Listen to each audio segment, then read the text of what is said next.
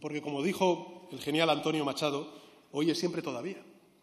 Quien ha introducido la cita de Machado en su discurso no le ha hecho ningún favor a don Antonio. Dígala completa, señor Sánchez. Hasta en las citas miente usted. Dice, hoy es siempre todavía, toda la vida es ahora.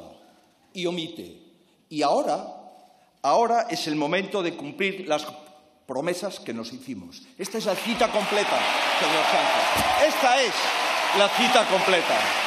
Ahora es el momento de cumplir los compromisos que nos hicimos.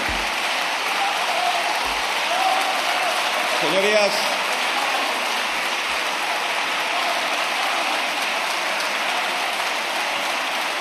Simplemente una, breve introducción.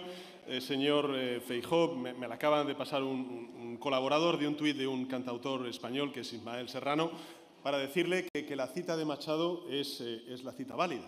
El añadido que usted ha hecho desde esta tribuna pues fue una adaptación del cantautor Ismael Serrano a la cita de Antonio Machado.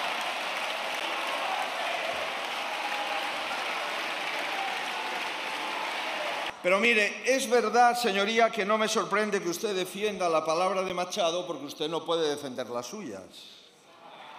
Lo que sí es verdad, señoría, que yo de ese cantautor, la verdad es que a mí me gusta más Luis Eduardo Aute, Javier Crae o Joaquín Sabina, pero buscando, buscando el cantautor tiene una bonita estrofa.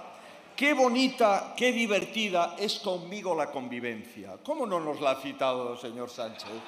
¿Por qué no nos dijo esa estrofa de ese cantautor Ismael Serrano que ha traído a colación? Oiga, me ha dicho usted que yo de Google no sé nada. La verdad es que de Google, comparado con usted, que ha hecho la tesis doctoral con Google, yo no sé nada. Eso es verdad, señoría. Eso es verdad. Pero